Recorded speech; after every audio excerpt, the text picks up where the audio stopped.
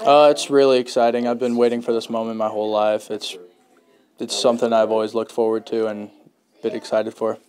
Why uh, why'd you pick Ivy Tech? Uh, the coach was really believed in me and really should gave me an opportunity that I liked, and he was one of the first to contact me as well.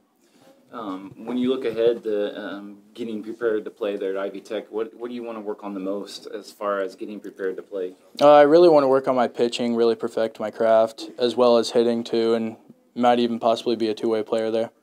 And uh, when you look back at playing here at, at Garrett, um, what's what what was the excitement? What what was fun about it? Like was play, obviously playing with your your teammates Mm-hmm. and your coaches, but you know what made it exciting for you? Uh, obviously, playing with the kids I've grown up with, uh, the competition that we faced always, and just going out there and having fun.